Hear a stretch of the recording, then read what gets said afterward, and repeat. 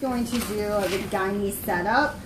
So uh, this is generally for your D&Cs, your suction D&Cs, um, anything from uh, vaginal, what is it, hysteroscopy even. So this is basically how you would set up your back table. Again, a lot of your places will only require for you to open glove, but considering the nature of this case, I would wear your gown, your booties, everything, okay? So I usually will put everything in order from one side to the next. Doesn't matter if you do it from this side, from left to right, um, or if you do right to left, it doesn't matter and then typically you'll have like your drapes and whatever. But you will not have a Mayo stand. Usually it's going to be a back table. All right? So first thing is first, with this particular one, I have a weighted, Auvard weighted speculum with a 90 degree angled um, retractor. That's what they'll mostly use. Sometimes they'll use duck bill, or, um, you know, the self-retaining vaginal speculum. But if you use the weighted one, you're always going to need the 90 degree. Then, like, do you guys remember? Then you'll need the tenaculum to grab the cervix to pull it closer. The one thing that we do not have here, which should go between the tenaculum and your dilators, is the sound. Sound is a measuring device that will measure the depth of the cervix so that they can have an idea on how deep they should actually dilate.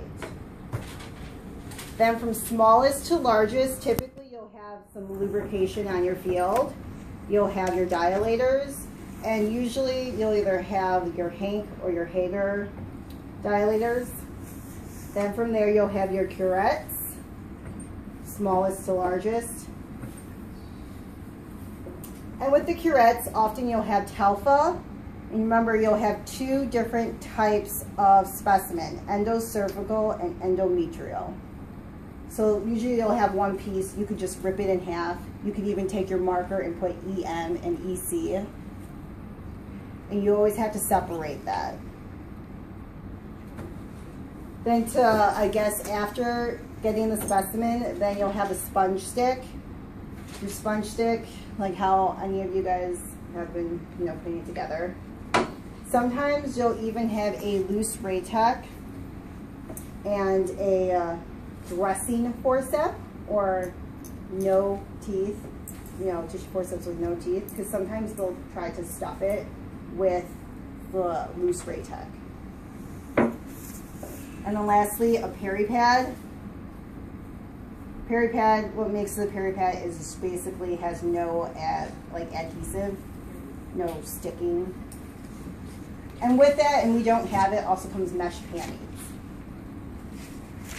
The draping is an under buttocks drape, then your two leggings, and some sort of fenestrated drape. So under buttocks, leggings, fenestrated drape. Your fenestrated drape more than likely will have a pouch attached to it. The pouch is basically used to catch any fluids, any blood, that sort of thing. And you'll often have a graduate that will be filled with saline. Any questions? What's filled with saline? The graduate.